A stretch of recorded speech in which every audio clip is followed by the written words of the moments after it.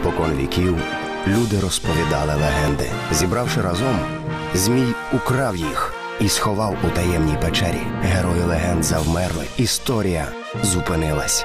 Та загадкову печеру знайшов хлопчик зі своїм м'ячем. Їх місія повернути легенди людям. Прокинувся Змій, і почалася боротьба за звільнення кожної легенди. Боротьба, яка триває й досі. Ми повернемо вам всі легенди України. Привіт, Ніку. Чому ти такий збентежений? Моя сестра зараз в пологовому будинку. Ось ось має народити. Вся наша родина переживає.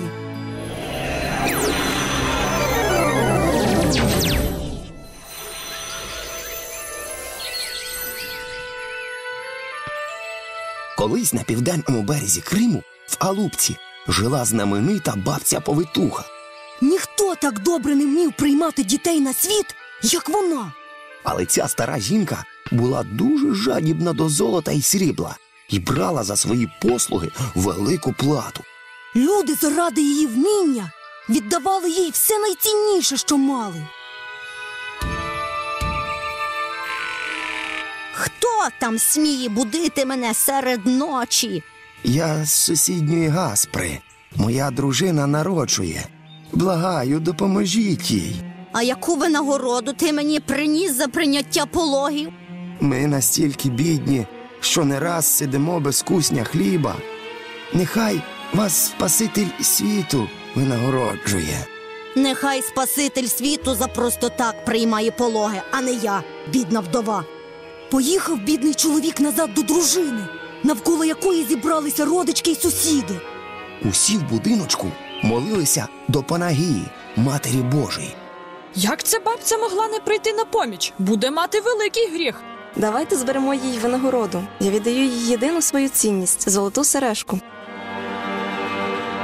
Я віддам їй свій браслет. Зібрали близькі породіллі найцінніші свої речі і віддали їх майбутньому батькові. І він помчав назад в Алубку до повитухи. Ось зібрав для вас винагороду. Цього мотлуху мене може зацікавити тільки золота сережка. А чому одна? Їдь шукай другу, інакше не піду. Поки її знайду, моя дружина може померти. Чого мене має зацікавити твоя дружина? Усі рано чи пізно помруть. Питання ось в чому: помруть бідними чи багатими. Іди геть, чоловічий, без двох сережок не вертайся. Коли чоловік прибіг назад до дружини, то вона вже була при смерті.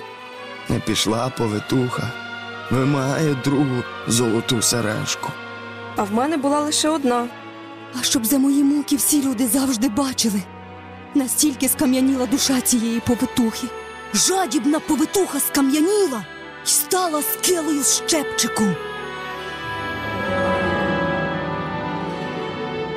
А вагітна жінка за щирі молитви до Матері Божої народила здорове маля.